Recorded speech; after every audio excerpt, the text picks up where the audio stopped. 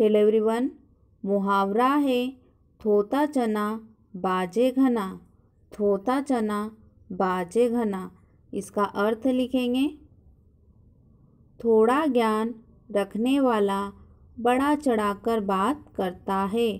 थोता चना, बाजे घना, इसका अर्थ है, थोड़ा ज्ञान रखने वाला बड़ा चढ़ाकर बात करता है। इसका वाक्य में प्रयोग करेंगे। अनीता अपने ज्ञान को बहुत बड़ा चढ़ाकर बखान करती है। तो घर के सभी सदस्य कहते हैं, थोता चना, बाजे घना। या इस प्रकार भी लिख सकते हैं, इसका अर्थ और वाक्य में प्रयोग।